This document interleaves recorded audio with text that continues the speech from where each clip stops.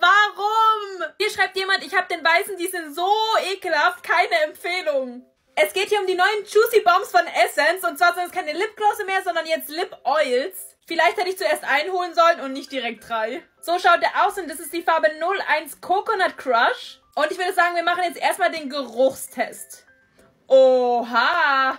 Boah, das riecht so krass nach Kokosnuss. Ich trage den jetzt zuerst auf den Lippen und dann gibt es natürlich wieder einen Geschmackstest. Das Einzige, was mir so ein bisschen negativ auffällt, dass da wirklich richtig wenig Produkt rauskommt. Auf den Lippen ist er einfach nur durchsichtig, also hat keine Farbe eigentlich. Also bis jetzt ist er nicht ekelhaft, aber wir machen ja jetzt eben den Geschmackstest. Hate-Kommentare in 3, 2, 1. Boah. okay, ich verstehe irgendwie so ein bisschen den Kommentar, denn der ist ganz komisch.